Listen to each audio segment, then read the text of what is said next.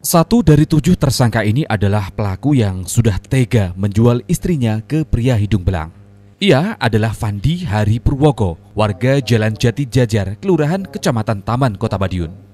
Pria 32 tahun ini ditangkap saat menunggu istrinya yang tengah melayani pria lain di sebuah hotel melati di Kecamatan Dolopo, Kabupaten Madiun saat Polres Madiun tengah menggelar operasi pekat 9 Mei 2022 hingga 29 Mei 2022 kemarin. Dari hasil pemeriksaan diketahui jika aksi nekat Fandi tidak lain karena himpitan ekonomi. Bahkan istrinya sendiri yang menawarkan diri untuk melayani pria lain ketika Fandi mendapat pesanan.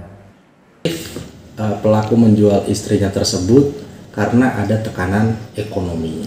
Sehingga uh, baik istri ataupun suami sepakat untuk melakukan hal tersebut. Dan kami rasa ini bukan yang kali pertamanya begitu. Setiap kali transaksi berapa itu?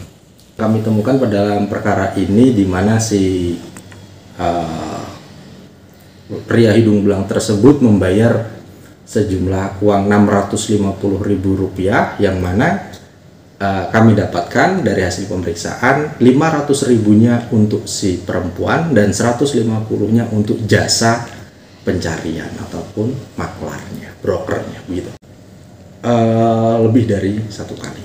Begitu. Kalau beroperasinya di wilayah mana?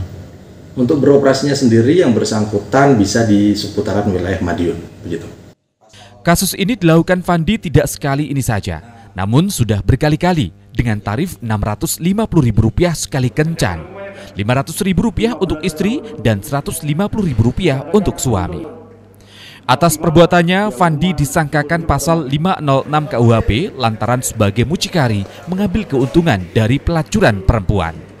Tova Pradana, JTV, Madiun.